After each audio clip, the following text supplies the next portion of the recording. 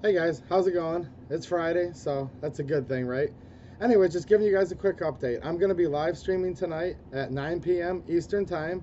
We're going to be talking about some guns, some updates on some guns I featured in previous videos, um, talking some gun rights, some politics, stuff like that. So if you guys are bored or think it'd be a good time, I welcome you and invite you to come um, hang out in my live stream. I always look forward to hanging out with you guys, so hope to see you there. And if you guys remember this Glock little pistol caliber pistol rig, I've now installed the Picatinny mount that I showed in a previous video. We're going to be talking about this gun tonight. I also have a couple accessories. I'm almost finished with this project.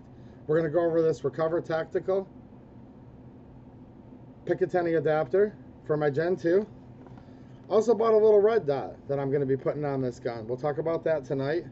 And also some updates on the Taurus G2C.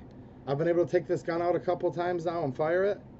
I'll tell you guys a little sneak peek right now. I had a lot of fun shooting it. A couple little things though I wanted to go over with it. And I also have one of the high capacity 20 round SIG mags. So there you go. Now this is not an extended capacity mag. It's a normal capacity mag. It's just a little higher round count than the 12. So anyways, we're going to talk about this gun. And I have some milsurps to show you guys too. So should be a good time. 9 o'clock Eastern Time. I'll be live streaming tonight. So thanks for watching, guys, and have a good one.